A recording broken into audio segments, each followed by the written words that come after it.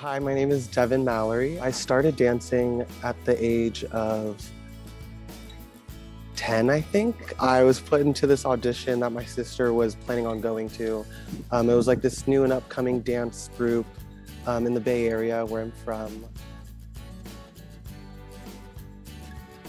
I wasn't really into dance, to be honest. Like I was doing soccer pretty um, seriously as a kid, and I like I loved it. It was super fun, but my mom thought like it could be a really good outlet for me and my sister who already enjoyed it. So yeah, she put us into this audition, and they saw something in the both of us, and we um, graciously were um, put onto the team. And I felt like when I was auditioning for the UCLA dance team, I was truly just pursuing something that I love to do, which was dance. And I'm still so like my I'm, my mind's so like discombobulated by the fact that like I'm the first male ever to be on the team, but um, I truly just feel like I was doing something that I loved and I was passionate about, and I think that was something that I reminded myself um, constantly as I was training and getting ready for auditions. I actually performed at Spring Sing my sophomore year in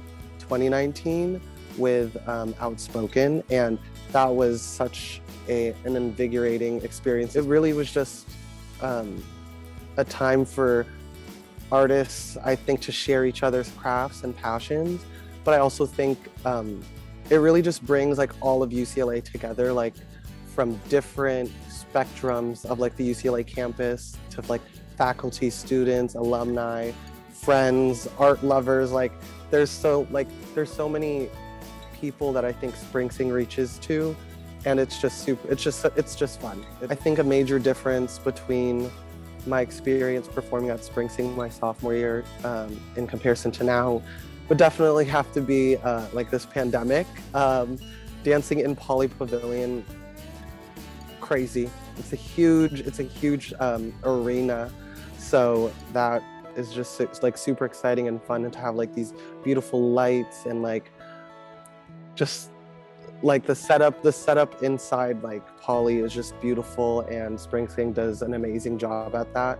Um, but yeah definitely this year a major difference would have to be things being online because Spring Sing this year is virtual. We i think as acts get to experiment more with like video and i'm not the most um, experienced and well versed with video but i have a lot of amazing talented friends who are very involved in like photography and videography. So I think to have that collaboration this time around in Spring Sing, it's really fun. And we can play with locations, which is really fun. So I think that was also something um, I had a blast filming for Spring Sing. Like me and my friend who shot um, my act, we like went to the beach and it was a beautiful day. And the the piece in itself isn't the most like jolly and uh, happy, I would like to say, but um, it was just it, it was just fun and like to go out with my friend and shoot dance was really nice.